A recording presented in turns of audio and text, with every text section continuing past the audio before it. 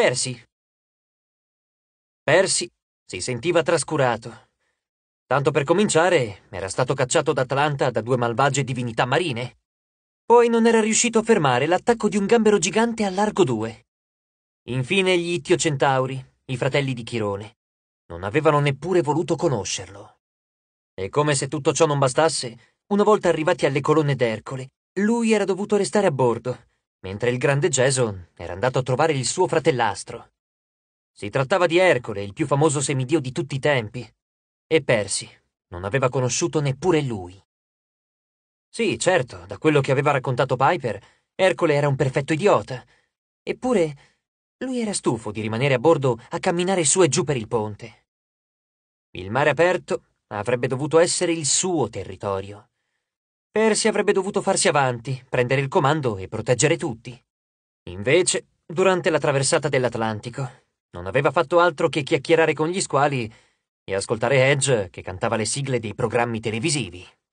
A peggiorare la situazione, da quando avevano lasciato Charleston, Annabeth gli sembrava distante.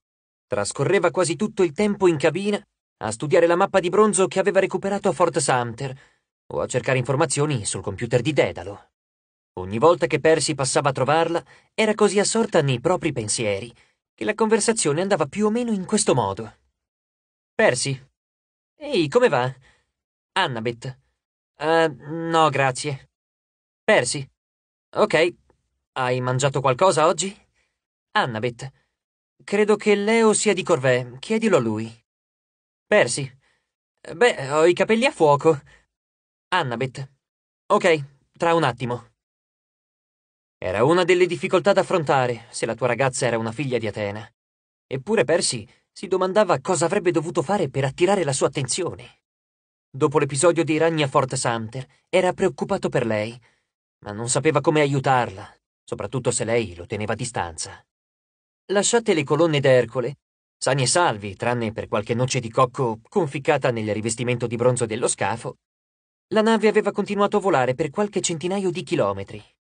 Percy si augurava che le antiche terre non fossero pericolose come avevano sentito dire, ma sembrava quasi uno spot pubblicitario. Noterete subito la differenza. La nave subiva diversi attacchi ogni ora. Uno stormo di uccelli carnivori di stinfalo piombò di notte dal cielo e Festus l'incenerì. Gli spiriti della tempesta cominciarono a turbinare intorno all'albero maestro e Jason li folgorò. Mentre Edge cenava sul ponte di prua, un Pegaso selvaggio spuntò fuori dal nulla, si fiondò sulle enciladas del satiro e volò di nuovo via, lasciando le impronte degli zoccoli imbrattati di formaggio su tutto il ponte. Ma perché? si era chiesto Edge, affranto. Nel vedere il Pegaso, Percy aveva sentito la mancanza di Blackjack. Non lo vedeva da diversi giorni. Neanche Tempesta e Arion si erano fatti vivi. Forse non avevano voglia di avventurarsi nel Mediterraneo. Se le cose stavano così, lui non li biasimava. Infine, verso mezzanotte, dopo il nono o il decimo attacco aereo, Jason si girò verso Percy. Che ne diresti di dormire un po'? Io continuerò a eliminare quello che passa per il cielo finché ci riesco. Poi proseguiremo via mare e prenderai tu il comando. Percy non sapeva se sarebbe stato capace di dormire con la nave che dondolava tra le nuvole, scossa da spiriti del vento inferociti, ma la proposta di Jason era sensata. Andò sotto coperta e crollò a letto. I suoi incubi, naturalmente, furono tutt'altro che riposanti. Sognò di trovarsi in una grotta buia, non riusciva a spingere molto avanti lo sguardo, ma lo spazio doveva essere ampio.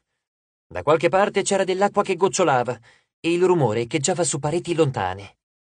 Da come si muoveva l'aria, Percy sospettò che il soffitto della caverna fosse molto alto. Udì dei passi pesanti e i giganti gemelli e Fialteotto emersero dall'oscurità. Percy riusciva a distinguerli solo grazie ai capelli, e Fialte aveva i dread viola intrecciati con monete d'oro e d'argento, Otto portava una coda di cavallo verde intrecciata con... petardi? Per il resto erano vestiti in modo identico e le loro mise erano senz'altro degni di un incubo. Indossavano pantaloni bianchi molto larghi e camicie da pirata color oro, con lo scollo a V che lasciava scoperti troppi peli sul petto. Le cinture di strass facevano da supporto a una dozzina di pugnali inguainati. Portavano sandali aperti sul davanti, a mostrare che avevano serpenti al posto dei piedi. I cinturini dei sandali cingevano il collo degli animali. Le teste erano raggomitolate dove avrebbero dovuto esserci gli alluci. I serpenti facevano scattare la lingua per l'eccitazione e puntavano gli occhi dorati in ogni direzione, come cani che guardino fuori dal finestrino di un'auto. Forse era passato molto tempo dall'ultima volta che avevano avuto un paio di scarpe con vista. I giganti erano davanti a Percy, ma non gli prestavano nessuna attenzione. Anzi, fissavano l'oscurità sopra di loro. Ci siamo, annunciò Efialte. Nonostante la voce roboante, le sue parole si dispersero nella grotta, riecheggiando, finché non divennero impalpabili e insignificanti. Dall'alto, qualcosa rispose Sì, me ne sono accorta. È difficile non notarvi, vestiti come siete. Udendo quella voce, Percy si sentì sprofondare lo stomaco di una ventina di centimetri. Sembrava vagamente femminile, ma per niente umana. Ogni parola era un sibilo confuso di varie tonalità, come se uno sciame di api assassine africane avesse imparato a parlare. Non era Gea, Percy ne era sicuro, ma chiunque fosse, i giganti gemelli si innervosirono. Spostarono il peso del corpo da un serpente all'altro e chinarono rispettosamente la testa. Senz'altro, Sua Signoria, disse Fialte. Rechiamo notizie di come mai siete vestiti così, domandò la figura nell'oscurità. Non sembrava che si stesse avvicinando, e a Persi andava benissimo così. E Fialte lanciò un'occhiata stizzita al gemello. Mio fratello avrebbe dovuto essere vestito in modo diverso, Purtroppo hai detto che sarei stato io il lanciatore di coltelli oggi, protestò Otto. Ho detto che sarei stato io. Tu dovevi essere il mago. Ah, mi perdoni, Sua Signoria. Non vorrà certo sentirci litigare. Siamo venuti a recar le notizie, come richiesto. La nave si sta avvicinando. Sua Signoria, chiunque fosse, emise una serie di sibili violenti, come uno pneumatico squarciato varie volte di fila. Con un brivido, Percy capì che rideva. Quanto manca? domandò la voce misteriosa. Dovrebbero atterrare a Roma poco dopo l'alba, credo, rispose Fialte. Naturalmente dovranno vedersela con il ragazzo d'oro. Ghignò, come se il ragazzo d'oro non fosse precisamente il suo beniamino. Speriamo che arrivino sani e salvi, commentò Sua Signoria. Ci rovinerebbe il divertimento se venissero catturati troppo presto. Avete fatto i vostri preparativi. Sì, Sua Signoria.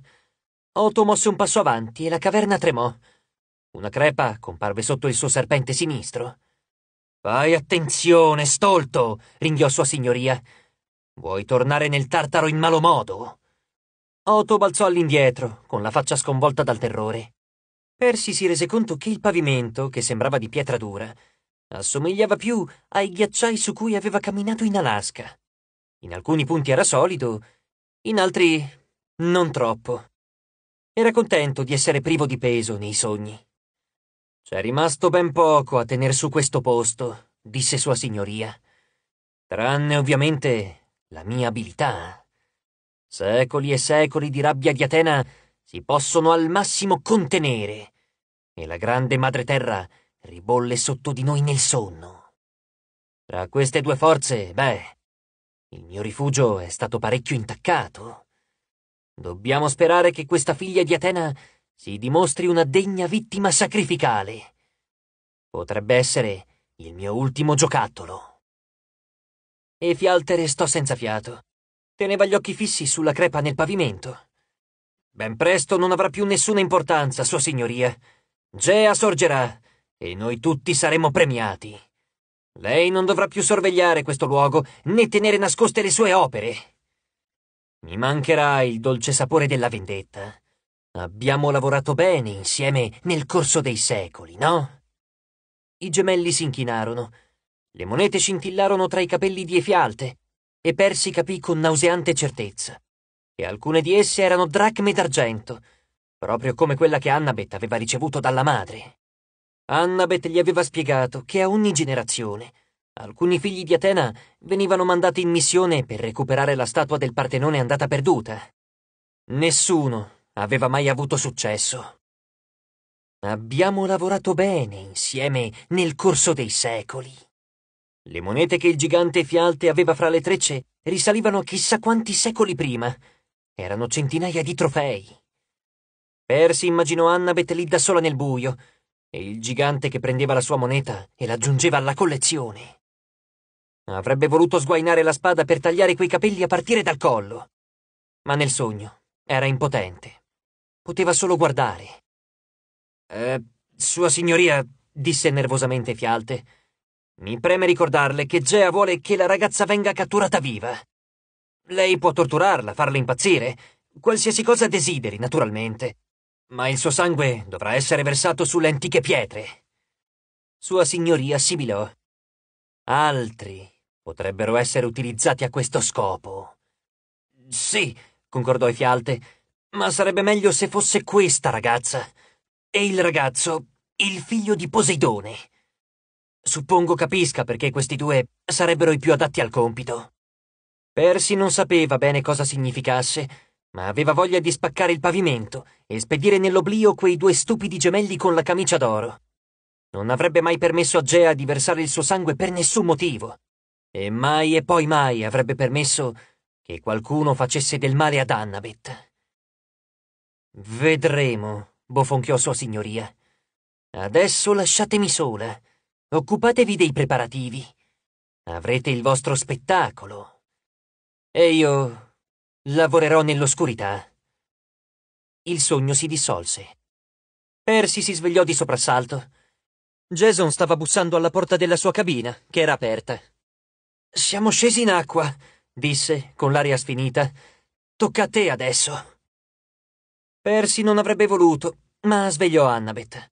Pensò che perfino Hedge non sarebbe dispiaciuto se parlavano dopo il coprifuoco, se ciò significava darle informazioni che avrebbero potuto salvarle la vita.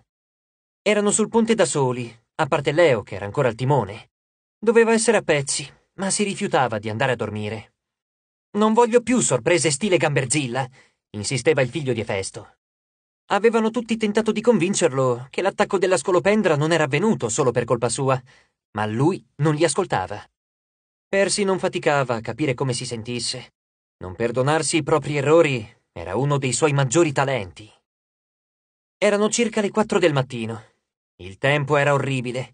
La nebbia era così fitta che Percy non riusciva a vedere Festus all'estremità della prua, e una pioggerellina calda stava sospesa nell'aria come una tenda di perline. Mentre solcavano onde alte sei metri, con il mare che si agitava sotto di loro, Percy sentiva la povera Hazel che giù in cabina Beh, si agitava pure lei. Nonostante tutto, però, era contento di essere tornato sull'acqua. Era meglio che volare in mezzo a nubi temporalesche o venire attaccato da uccelli antropofagi e pegasi ghiotti di Enciladas. Si affacciò con Annabeth al parapetto di prua e le raccontò il sogno che aveva fatto. La sua reazione fu perfino più preoccupante di quanto lui avesse immaginato. Non sembrò affatto sorpresa. Percy, devi promettermi una cosa. Non raccontare questo sogno agli altri, gli disse fissando la nebbia. Non devo cosa? Annabeth, quello che hai visto riguarda il marchio di Atena. Agli altri non serve saperlo. Si preoccuperebbero e basta. E per me sarebbe più difficile andarmene da sola. Non direi sul serio. Quella voce nell'oscurità, la grande sala con il pavimento che si sgretolava. Lo so. Il volto di Annabeth era di un pallore innaturale e Percy sospettò che non fosse solo per via della nebbia. Ma devo farlo da sola. Il figlio di Poseidone ricacciò indietro la rabbia. Non capiva se fosse furioso con Annabeth, con il sogno o con tutto il mondo greco-romano, che aveva resistito per tremila anni, plasmando la storia dell'umanità, con un solo obiettivo nella testa: rovinare quanto il più possibile la vita di Percy Jackson. Tu sai cosa c'è in quella caverna, vero? Ha a che fare con i ragni. Sì, rispose Annabeth con un filo di voce. Allora come puoi, anche solo. Percy non finì la frase. Sapeva per esperienza che, una volta che lei aveva deciso, discutere non serviva a niente. Ripensò a una notte di tre anni e mezzo prima, quando avevano recuperato Nico e Bianca di Angelo nel Maine. Annabeth era stata catturata da Atlante, uno dei titani. Per un po' Percy non aveva saputo se fosse viva o morta. Aveva viaggiato in lungo e in largo per tutto il paese, per salvarla dalle grinfie di Atlante. Erano stati i giorni più difficili della sua vita, non solo per i mostri e per i combattimenti, ma per la preoccupazione. Come poteva lasciarla partire, sapendo che stava andando verso qualcosa di ancora più pericoloso? Poi capì quello che lui aveva provato allora, per pochi giorni. Era ciò che Annabeth aveva provato nei sei mesi in cui lui era sparito e aveva perso la memoria. Si sentì in colpa e anche un po' egoista a starsene lì a discutere con lei. Annabeth doveva partire per la sua missione. Il destino del mondo poteva dipendere da quello. Ma una parte di lui avrebbe voluto dire al diavolo il mondo. Non voleva fare a meno di lei. Percy fissò la nebbia. Non vedeva nulla, ma si orientava perfettamente in mare. Conosceva la latitudine e la longitudine esatte. Conosceva la profondità dell'oceano e la direzione in cui si spostavano le correnti. Conosceva la velocità a cui viaggiava la nave e percepiva che non c'erano scogli, barre di sabbia o altri pericoli naturali sulla loro rotta. Eppure, quella cecità era inquietante. Non avevano più subito attacchi da quando erano tornati sull'acqua, ma il mare sembrava diverso. Persi era stato nell'Atlantico, nel Pacifico e perfino nel Golfo dell'Alaska, ma il Mediterraneo sembrava più antico e potente. Percepiva i vari strati che turbinavano sotto di lui. Ogni eroe greco o romano aveva navigato su quelle acque, da Ercole a Enea. I mostri abitavano ancora nei suoi abissi ed erano così avvolti nella foschia che dormivano quasi sempre. Tuttavia, Persi sentiva che cominciavano ad agitarsi reagendo allo scafo di bronzo celeste di una trireme greca e alla presenza del sangue dei semitei. Sono tornati, sembravano dire i mostri. Finalmente un po' di sangue fresco. Non siamo lontani dalla costa italiana, disse Percy, soprattutto per rompere il silenzio. Mancheranno meno di 200 chilometri alla foce del Tevere. Bene, commentò Annabeth. Prima dell'alba dovremmo fermarci. Percy si sentì investire da un'ondata di gelo. Dobbiamo fermarci. Perché? Leo, fermati! Gridò Percy. Troppo tardi. Un'altra barca sbucò dalla nebbia e li speronò di prua. In quel millesimo di secondo, Percy registrò alcuni particolari a caso. Un'altra trireme, vele nere con la testa di una gorgone dipinta sopra, guerrieri enormi, non del tutto umani, che gremivano la parte anteriore della nave, vestiti con l'armatura greca, spade e lance in resta. Infine, un ariete di bronzo che sbatté contro lo scafo del largo 2. Annabeth e Percy per poco non furono scagliati fuori bordo. Festus sputò fuoco, spingendo una dozzina di guerrieri allibiti e urlanti a tuffarsi in mare, mentre molti altri si riversarono a bordo del largo 2. Cime dotate di rampini andarono ad avvolgersi intorno ai parapetti e all'albero maestro, piantando artigli di ferro nelle assi dello scafo. Quando Percy si riprese, i nemici erano ovunque. Non riusciva a vedere bene attraverso la nebbia e l'oscurità, ma gli invasori sembravano delfini umanoidi, o umani delfinoidi. Alcuni avevano il muso grigio, altri impugnavano la spada con pinne rachitiche. Alcuni camminavano dondolandosi su gambe in parte fuse in un unico blocco, altri avevano le pinne al posto dei piedi, come le scarpe dei clown. Leo suonò l'allarme si precipitò verso la balista più vicina, ma fu travolto da un mucchio di guerrieri delfino schiamazzanti. Annabeth e Percy stavano schiena contro schiena, come avevano fatto molte altre volte, ad armi sguainate. Percy tentò di evocare le onde, sperando di separare le navi o addirittura di ribaltare il vascello nemico, ma non accadde nulla. Ebbe quasi la sensazione che qualcosa si opponesse alla sua volontà, strappandogli il controllo del mare. Sollevò vortice, pronto a combattere, ma i sette avevano uno svantaggio numerico tremendo. Decine di guerrieri abbassarono le lance, creando un anello intorno a loro e tenendosi saggiamente a distanza dalla spada di Persi. I guerrieri delfino aprirono bocca, emettendo suoni schioccanti e sibilanti. Persi non aveva mai pensato a quanto sembrassero feroci i denti di un delfino. Tentò di ragionare. Probabilmente avrebbe potuto rompere il cerchio e annientare qualche invasore, ma non senza che gli altri infilzassero lui e Annabeth. Per fortuna, però, i guerrieri non sembravano intenzionati a ucciderli subito. Continuarono ad accerchiarli, mentre i loro compagni si riversavano sotto coperta e prendevano possesso dello scafo. Persi li sentì sfondare le porte delle cabine e battersi contro i suoi amici. Anche se gli altri semidei non fossero stati mezzo addormentati, non avrebbero avuto nessuna possibilità contro così tanti avversari. Leo venne trascinato dall'altra parte del ponte e scaraventato su un mucchio di cime, dove rimase a mugolare semisvenuto. Sotto coperta, il rumore del combattimento scemò a poco a poco. I nemici erano stati sottomessi. Oppure. Oppure Persi non voleva neanche pensarci. I guerrieri che li accerchiavano aprirono un varco per lasciar passare qualcuno. Sembrava una figura del tutto umana, ma da come gli altri indietreggiarono alla sua presenza, era chiaramente il loro capo. Indossava una panoplia greca da combattimento, elmo, scudo, schinieri e un pettorale decorato con elaborati disegni di mostri marini. Tutto ciò che aveva indosso era d'oro. Perfino la spada, una lama greca come vortice, era d'oro invece che di bronzo. Il ragazzo d'oro! pensò Percy ricordandosi il sogno. Dovranno vedersela con il ragazzo d'oro. Quello che lo innervosì davvero, però, fu il suo elmo. La visiera era una maschera forgiata come la testa di una gorgone, zanne curve, orribili lineamenti contratti in un ghigno, e capelli d'oro a forma di serpenti arrotolati intorno al viso. Percy aveva già incontrato le gorgoni. La somiglianza era buona, anzi, un po' troppo buona per i suoi gusti. Annabeth si girò, ritrovandosi spalla contro spalla con Percy. Lui avrebbe voluto metterle un braccio intorno alla vita, ma dubitò che lei avrebbe apprezzato il gesto. E poi non voleva far capire a quel tizio d'oro che era la sua ragazza. Non aveva senso dare al nemico più potere di quanto già avesse. Chi sei? domandò Percy. Cosa vuoi? Il guerriero d'oro ridacchiò.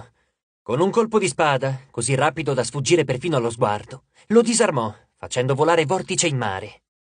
Fu come se gli avesse gettato in mare i polmoni, perché all'improvviso Percy si sentì mancare il respiro. Non era mai stato disarmato con tanta facilità. Salve, fratello! La voce del guerriero d'oro era profonda e vellutata, con un accento esotico, medio orientale forse, che sembrava vagamente familiare. Sempre lieto di derubare un figlio di Poseidone come me. Sono Crisaure, la spada d'oro. Quanto a quello che voglio. La maschera di metallo si voltò verso Annabeth. Beh, è semplice. Voglio tutto quello che hai tu.